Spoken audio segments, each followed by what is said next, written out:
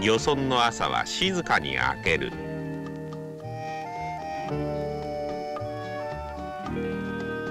三陸の海にはまだ多くの自然が残されている。岩手県宮古市の津軽石川では酒漁が今竹縄。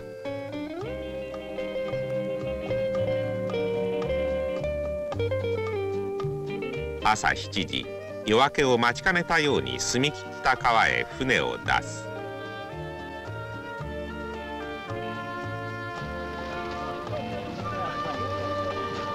この川から放流されて4年北洋の荒波で大きく成長した鮭が産卵に帰ってきた。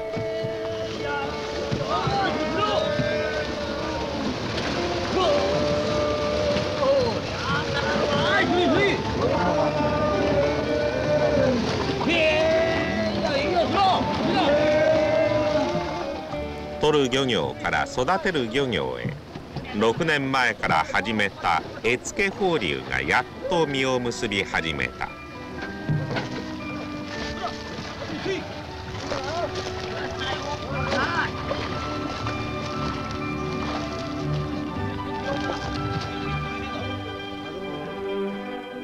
1日約1,000匹。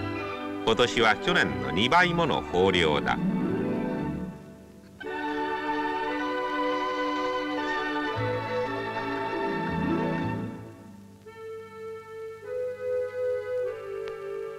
取った鮭はすぐ腹を裂いて卵を出し人工授精で孵化される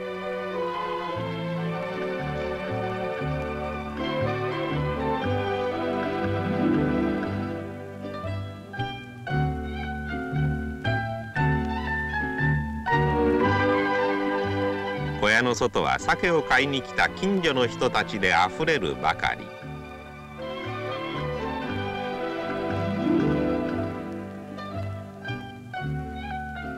自然の美しさが保たれる限り津軽石川に鮭の大漁が続くだろう。